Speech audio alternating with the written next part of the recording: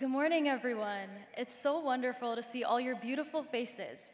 I'm so, so, so grateful to be here.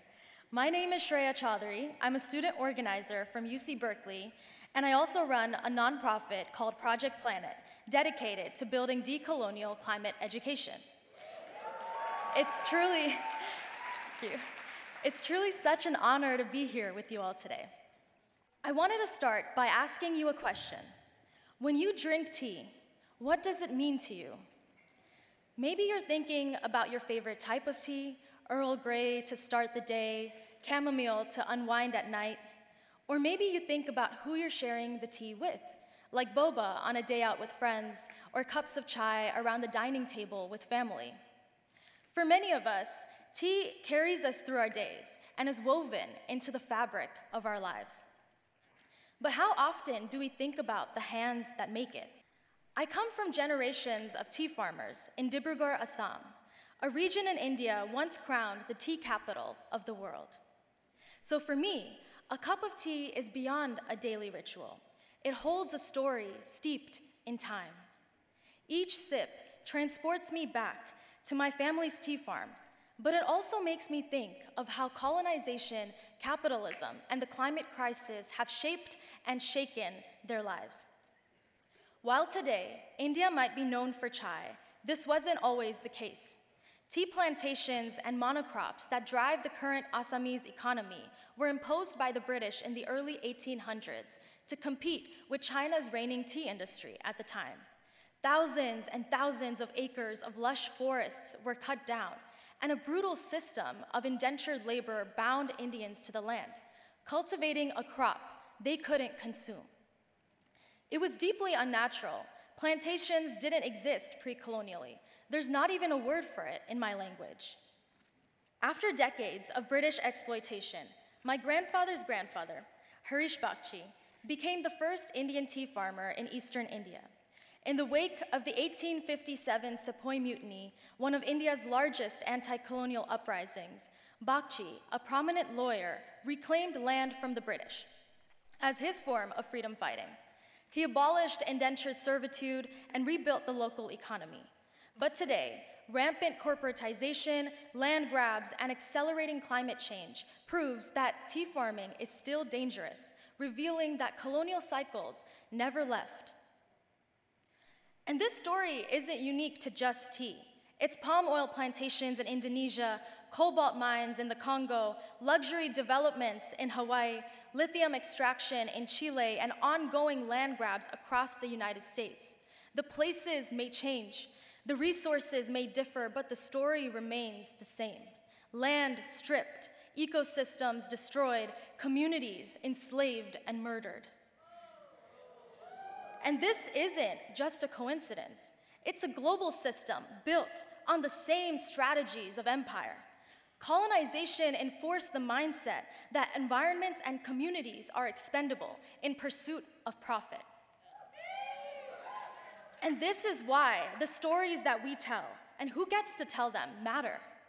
Growing up in a family of land tenders and farmers, I heard stories of resilience, of respect, of land as beyond an economic resource. But the dominant narratives in the world tell a different story. One where tea is just a product on a supermarket shelf, disconnected from the people and histories rooted in it. Through colonial linearity, we feel as though only our existence now matters, not the people before or after us. The global supply chain has been invisibilized to separate us from the consequences of consumption. Col Colonization breeds a lack of respect for people, for land, for life. Given that this is the root, the climate crisis is not just economic or physical, it is a spiritual crisis at its core. To break the colonial project of dehumanization and separation, we have to find what unites us. Decolonization is about restoring love and returning to cyclic ways of being. In India, there is a philosophy, Vasudhaiva Kutumbakam. It means the world is one family, our collective home. And in a family, we don't always agree, but we still show up for each other. We lend a hand, an ear, a heart. We must learn to sit with discomfort, with complexity, to engage in difficult conversations, even when we don't see eye to eye. Because colonization doesn't just live on in laws and policies, it lives on in our minds. And if our thinking remains colonized, the systems of oppression will continue. We need new stories, new technologies, new structures for true liberation. We have to go beyond Western ways of knowing. For too long, only certain ideas, such as Western science, have been taken seriously, while others, deeply rooted in indigenous science and ancestral wisdom, have been silenced and delegitimized. When I first came to Berkeley, I was struck by how environmental justice and TEK were often treated as footnotes in the classroom. The limitation of this knowledge and of professors of color leads to a lack of diversity of climate solutions. An education without diversity can become indoctrination. So that is why I founded and teach the class Decolonizing Environmentalism, a space where communities of color can reclaim our narrative and center our lived experiences and knowledge, not through tragedy, but through strength, memory, and resistance. I also lead the Decolonial Environmental Network to create a culture and space on campus that furthers this work and through my nonprofit Project Planet, I'm trying to expand climate solutions by uplifting indigenous knowledge systems rooted in unity, multiplicity, and collective care. It is easy to hold on to separation, to retreat into division, to let exhaustion take over.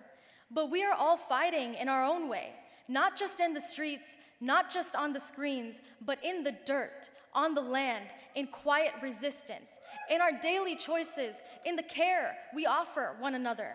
Resistance is not always loud or glamorous. Sometimes it is simply the refusal to let go of connection. My aunt and uncle in Assam continue the unfinished anti colonial radical dream of my ancestor, Harish Bakshi, by resisting corporatization on their family farms. Indigenous communities around the world are fighting back. The Bhagavad Gita says action itself is sacred, regardless of outcomes, so we continue to act and fight in any way we can. In this picture above, my family's tea brand, SIP, sits alongside corporate tea brands in supermarket shelves, and in that, there is resistance and hope. There is always hope, as long as we act together. I leave you with the words of writer Arundhati Roy. Another world is not only possible, she is on her way. On a quiet day, I can hear her breathing. This is more information about our work. Thank you so, so much for having me.